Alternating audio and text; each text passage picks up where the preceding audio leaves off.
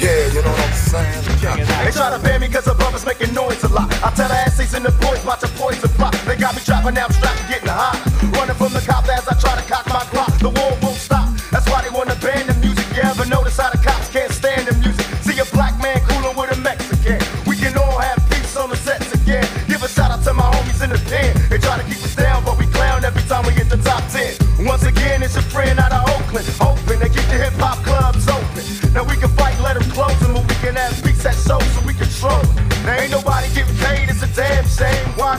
same brothers in the same gang. They security's the blame cause they letting it off. Brothers come to have fun, but they setting it off. One time, make it work when they sweat us.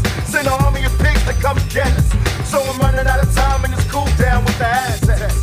And the salsa con soul food.